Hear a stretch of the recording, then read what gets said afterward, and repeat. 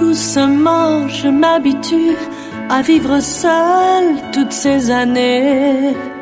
Et pourtant, je continue toutes ces nuits à espérer que nos âmes enfin se retrouvent au crépuscule d'un matin